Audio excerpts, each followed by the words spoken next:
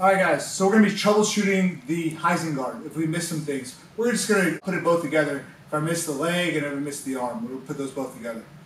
Okay, so I'm here. I go inside, and for some reason, I lose this leg.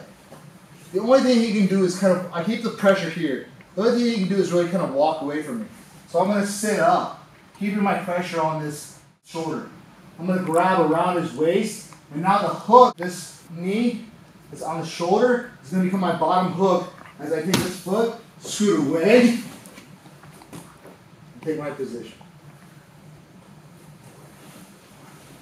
Alright, I break this off, keep the pressure, grab,